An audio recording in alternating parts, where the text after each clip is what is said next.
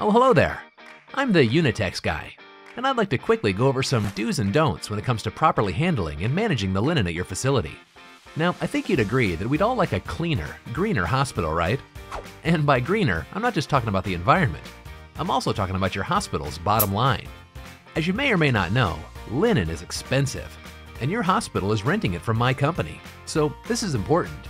Remember, linen is a reusable item, and costs can quickly add up, especially if you're not properly utilizing the linen. Okay, check this out. You see Nurse Lucy there? She's about to handle some blood-soaked linens. I know that you know that she might be thinking, blood-soaked linens should either go in the trash or in that red biohazard bag, right?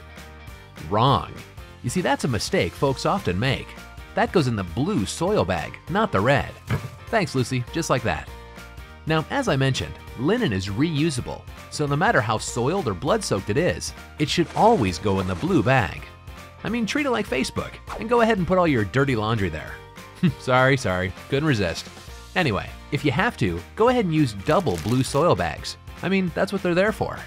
These blue soil bags are then picked up by my colleagues at Unitex. Hi, Bob.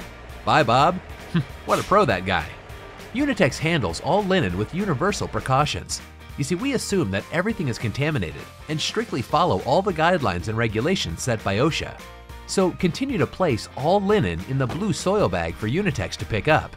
And don't throw away linen, no matter what.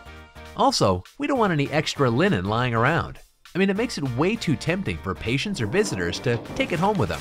I mean, this isn't a fancy hotel. We need this stuff.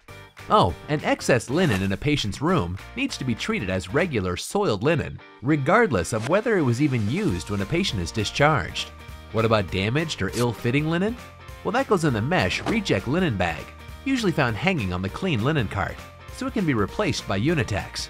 And your hospital will be credited for these items. Alrighty then, on that note, I'm out of here. Hey, perfect timing, Bob. Let's roll. None delay.